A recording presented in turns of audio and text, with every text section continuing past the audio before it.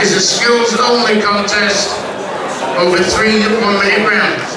Introducing in the red corner, representing the Halifax Boxing Club, Michael Ingham.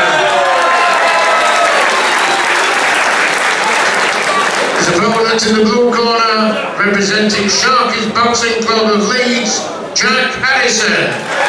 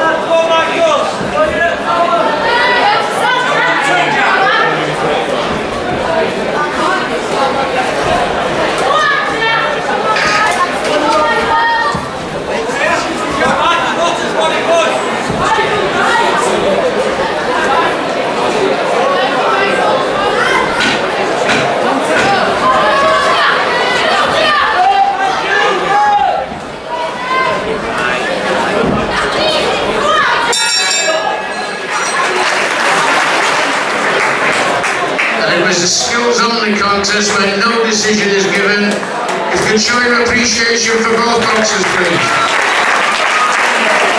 Michael Ingham and Jack Harrison.